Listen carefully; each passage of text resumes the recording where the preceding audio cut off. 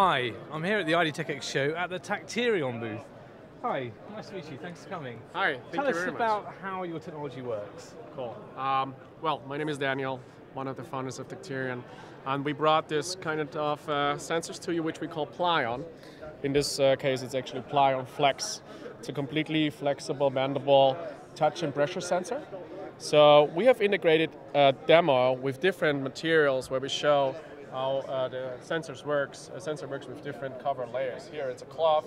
So you see on the readout, you see the capacitive touch interaction, and if we now press hard enough, we get the resistive uh, pressure uh, signal.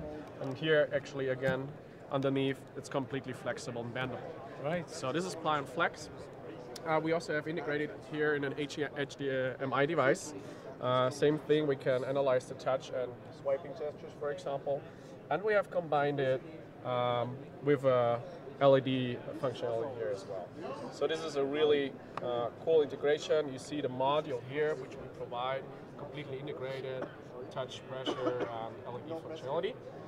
Is it controllable, the amount of pressure which can be applied? Yeah. Okay. So for us, this is a, a certain uh, threshold you have to cross to get the, the resistive signal, and from then on, it's an analog uh, pressure, pressure Right. signal. So this was Plyon Flex. Uh, next up is Plyon Stretch. Moritz uh, is wearing our glove, just like I do. Uh, this is the flexible version of the same sensor, basically.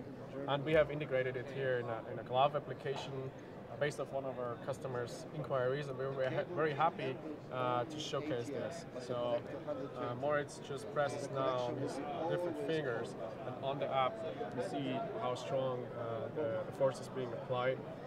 So this will be an industrial product where we can go into the workspace and analyze different patterns, uh, safety, ergonomics. Um, we're very happy about the textile integration, which we're showing here for the first time at IDTechEx. Very nice. And so I can imagine there are many applications of this. Which sectors are you prioritizing first? Uh, so we're very open to different kinds of uh, applications. Textile integration goes into B2B, um, and most likely it's going to be in industry, and also consumer electronics is relevant to us. We're working uh, with a large corporation on a home robotics application, and also like uh, different kinds of HM, HMI devices will be enabled by our technology. And if uh, potential customers wanted to use the product, would they do the electronics, or how do you help them with that in terms of the whole system? Yeah, so this is just the, the standard electronics as we provided today.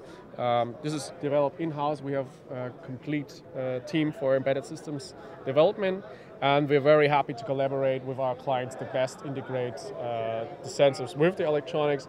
But of course, uh, there's some proprietary know-how necessary to read out the, the, uh, the sensors. So the firmware, the software will always be provided by us, but we might integrate it with existing computing power in a device. Daniel, thank you very much. Thank you. Thanks.